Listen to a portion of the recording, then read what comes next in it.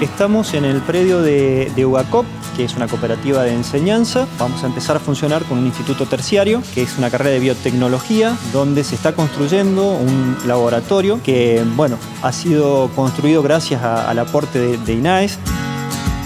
El laboratorio de biotecnología nos pareció algo importante, novedoso y que realmente empezar a investigar y que científicos del CONICET se acercaran a estudiar en el interior las características de esta zona era sumamente importante. Para el departamento esto es un gran avance, algo específico para el departamento, algo específico para la zona, para Mendoza o para la zona, digamos, eh, árida que nosotros tenemos. Necesitamos valorizar este esfuerzo que el Estado Nacional llega a un territorio del interior de la República Argentina con su mano, con su granito de arena para apoyar carreras importantes para la educación y para que nuestros jóvenes puedan tener un oficio, un nivel terciario importante que les pueda permitir insertarse en el mercado laboral.